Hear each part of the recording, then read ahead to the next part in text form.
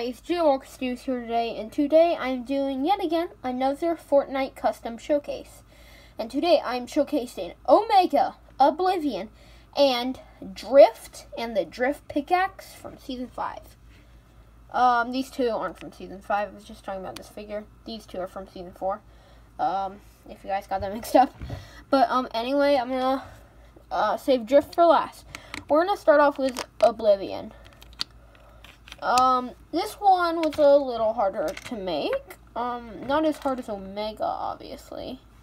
Actually, no, Drift was the was. I mean, Drift was okay. I don't know how to rate all them, but as you can see, um, what we have here is, um, I have I gave her the armor from the I forgot what he's called. It's like an e evil robot from series. I don't know, a minifigure series. I got it like a few years ago. And yeah, so I felt like this was the perfect armor. And I gave her um uh gunmetal gray arms, black printing, and under here was my first attempt before I found the chest plate, which is kind of bad. This was my first attempt. So there you go. That was my first attempt which really didn't have the good chess play I was looking for. Um, so, and I used a Black Panther helmet, orange head. I mean, it's not covered up here, but I took the Black Panther ears, put them the way they normally are. Um, and then this, I mean, you just ignore that.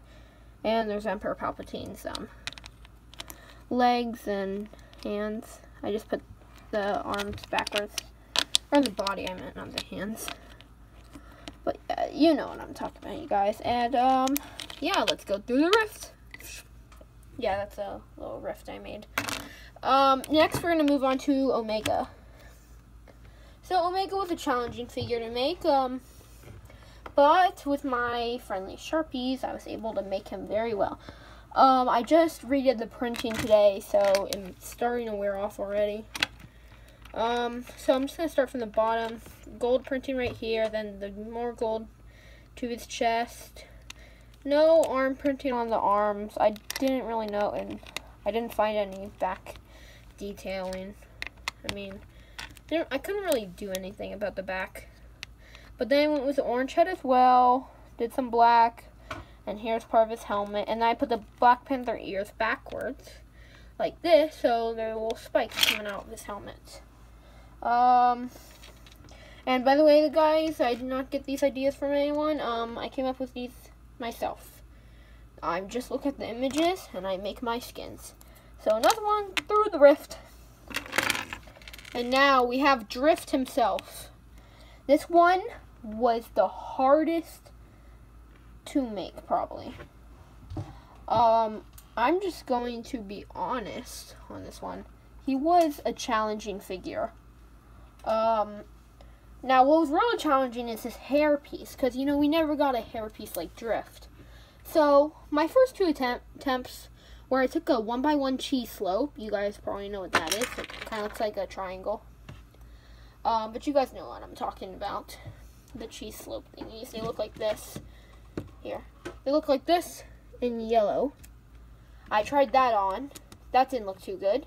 I tried Kai's hair Sharpie in gold. I mean, it was okay, but wasn't good enough. So then I took some of my clay slash putty, whatever you want to call it, and I made the perfect thing. And now what I did is I took Cole's mask from Rebooted, put it on um, the head, and the head is Bruce Banner from Infinity War and Thor Ragnarok. You can find it in two sets. Um, and I know his ultimate face is here, but we can just ignore that because, I mean, there's nothing we can really do about it. Just, we can just ignore it. Um, and then I took a classic white shirt and I used some Sharpie and some gold over it. Um, and I gave him the nugget sleeves, whatever they're called, nougat, nougat colored sleeves well, not really sleeve. He's basically sleeveless. Then he has his gloves and black legs, which have no printing. And then for the pickaxe, this thing was challenging to make since we rarely ever get any pink pieces. Oh yeah, and this falls off kind of easily. So I have to be careful around this piece. Um, but for this, what I had to do is use some paint. Well, no, use some Sharpie, pink Sharpie. That didn't turn out well on the blue lightsaber, but guess it's okay. You have a hill, uh, like this size piece from Ninjago. Then I Sharpie this piece and that piece, and I have this pole here, cylinder. And yeah, that's what that turned out into. And, um, but yeah. And what I'm also going to be showcasing is how to make your own Rift if you ever want to do LEGO Fortnite stop motions or even a LEGO Fortnite world display. Um, so what you want to do is you can find like a piece. You can use a trans a translucent head, um, a portal piece like this, or you, I mean, you could even use uh, this piece right here. Uh, but what you need to do is connect it to whatever. You can't have it just floating in midair. I suggest you have it um, connect to a rock. Um, and what you do is take your putty or clay or whatever you have and stick it onto the piece and stick it onto the rock. And there you go. And you can make the putty like very long so it looks like it's sticking out as well. Um, but, and there's also other options. Like if you want to take this, you can use this and have the portal be like right here. So it does look like it's in the middle. Um, but yeah, and then you can have your characters hop through it uh, but just, yeah, that's like a, um, that's a way you can do that. So I'm just going to set that to the side. But that's pretty much all I want to show you guys. Whoops, wrong figure. Sorry, guys. It's a mess over here. Um, I just want to show you guys how to make a rift and um, the three Fortnite customs.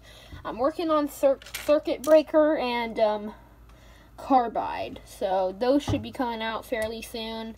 Hopefully tomorrow, maybe. I don't know, but um, yeah. So thank you guys so much for watching. If you didn't enjoy this video, click that subscribe button and I'll see you guys in the next video. Goodbye.